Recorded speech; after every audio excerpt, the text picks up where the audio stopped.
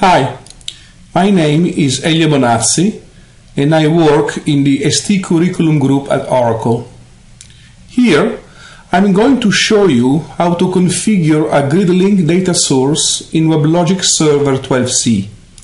Such data source will access an Oracle RAC server using a single client access name or SCAN configuration. Initially, we will make sure that the RAC server being accessed is available and visible over the network through its SCAN name. We must use the SRVCTL or server control tool to configure and verify the status of both scan listener and scan. The ultimate test, however, is using the TNS ping utility providing the scan name which identifies the RAC server to make sure that it is accessible over the network. Once you are satisfied with the preliminary checks and you are sure that the RAC server is available and accessible, you can use the WebLogic administration console to create the GridLink data source. So let's get started. First, we'll access the RDBMS Enterprise Manager utility to verify that the RAC server is running and to check its name. The Oracle Enterprise Manager shows an overview of the RAC instance which we want to access from WebLogic. Its name is rack.localdomain and the cluster name is OL6-112-scan. We use PuTTY to connect to, to one of the servers hosting the RAC instance.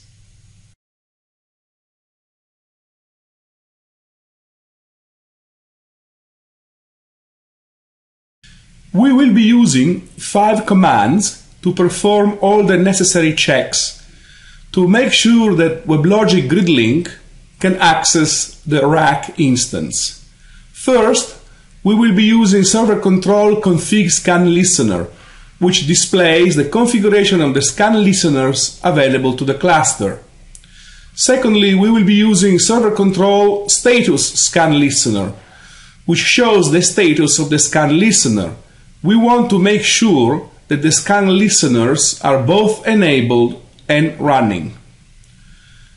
We will be using then server control config scan, which displays the scan name and the virtual IP addresses associated to it. The fourth command is a server control status scan, which shows the status of the scan. We want to verify that all nodes participating to the cluster have the virtual IPs enabled and running. Finally, the TNS ping command uh, will make sure that the RAC instance named rack is resolved by the TNS. The last check that we will perform is to use SQL Plus to connect remotely to the RAC instance. Here, server control shows three configured listeners, which are reported to be enabled and running. Server control also displays the scan name OL6-112-scan TNS ping shows the RAC instance as reachable. Finally, a connection attempt is made through SQL Plus. Once connected, a SQL query is issued to find out the instance name, server host, and service name. After having made sure that the RAC instance is accessible, we use the WebLogic Administrative Console to configure the GridLink data source. We start by locking the administration panel to prevent concurrent changes. Then we expand the services node of our domain structure and select data sources.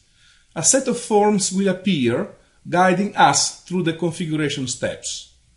We will have to briefly resume our PuTTY session to find out the Oracle Notification Services TCP IP port, which is a parameter required for a GridLink data source configuration. Finally, we will test both listeners and ONS nodes to make sure that GridLink can contact them. The last step is to save the configuration and release the lock. First, we connect to the WebLogic administration console Then we expand the services link in the domain structure, selecting data sources. Before making any change, we click the Lock and Edit button. We create a new data source, choosing GridLink data source from the pop-down menu. A new form appears. As a database driver, we select the JDBC driver for GridLink application continuity. In the new form, we select one phase commit and click Next. Then we choose to enter the complete JDBC URL. When the connection properties form appears on screen, first we erase the default database username and we replace it with our specific database user, Oracle. The JDBC URL for a scan configuration must follow the convention shown in the gray caption. Before leaving the form, we must provide a password twice. The next form allows for the testing of the listeners just defined. Upon a successful test, a feedback string is displayed in the messages window, stating that the connection succeeded. We must now find out the Oracle Notification Service remote phone number. So we resume our PuTTY session connected to one of the servers of the RAC cluster. We must display the content of the ons.config file located in Oracle Home slash opmn slash conf. In this RAC installation, the remote port number is 6200. We go back to the WebLogic admin console and in the ONS client configuration form, we enter all nodes participating in the cluster, suffixing the ONS port. This specific RAC consists of two nodes, so we add two entries, rack 1 and rack 2. A new panel is displayed in the form allowing for the testing of all ONS nodes. We click on the test button and after a few seconds we receive the feedback from the system informing us that the ONS nodes were contacted successfully. We have now the option to deploy the newly created GridLink data source on the entire WebLogic cluster or on a selected node. We choose to deploy it on the entire cluster.